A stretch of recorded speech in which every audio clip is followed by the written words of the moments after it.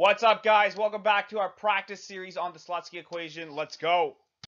So this is the question. A data analyst at Supercars estimates the demand for his company's cars to be defined as the following regression.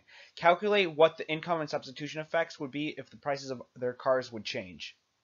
So the Slutsky equation for this problem is defined as the following, where the partial derivative of the Hicksian demand for this company's cars with respect to the price of this company's cars is the substitution effects, and the negative partial derivative of the Marshallian demand for this company's cars with respect to income times the estimated demand for the company's cars is the income effect. The income effect can be calculated as the following, where we have negative beta 3, which is the partial derivative of the, Marshallian demand for this company's cars with respect to income, times the estimated regression for the demand for this company's cars.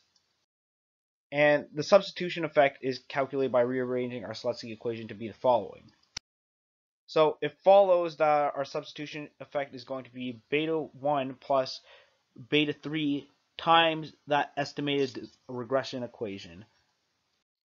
So now that we have both effects, we can check the truth of the statement by plugging in the values. So as we can see from the math of the Slutsky equation that if we come to the same answer as deriving the Marshallian demand equation directly, which is going to be beta 1, that's going to be the partial effect if we go and we see a change in price. Uh, the Slutsky identity holds as we see from this example, and uh, I guess that's it. I'll see you in another video.